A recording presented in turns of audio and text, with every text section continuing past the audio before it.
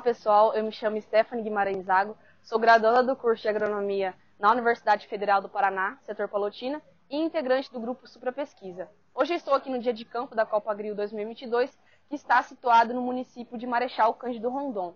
Hoje irei falar um pouco sobre a cultura do sorgo cobertura no cover. Ela foi semeada em meados de 12 de outubro de 2021 e durante o início do seu ciclo ela recebeu muita pouca chuva é, devido à estiagem que nós sofremos aqui no oeste do Paraná nesses últimos meses. Mas mesmo assim, nós podemos observar que ela tem um potencial é, de um alto crescimento, um crescimento rápido e também um desenvolvimento muito bom. Isso nos mostra é, que essa cultura ela é resistente à seca.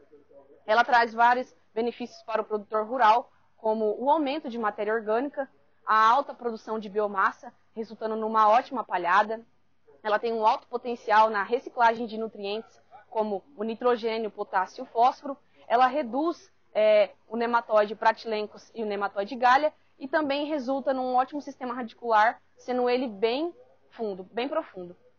Ela auxilia bastante também no manejo de plantas daninhas, é, reduzindo a incidência de plantas daninhas durante todo o seu ciclo e também para a próxima cultura que irá vir. Ela seria uma opção de diversificação de sistema produtivo aqui no oeste do Paraná. No lugar do milho safrinha seria o sorgo de cobertura, após é, a cultura do soja e antes do cultivo do trigo. No mais seria isso. Se inscreva no nosso canal para mais informações. Muito obrigada pela atenção e até mais.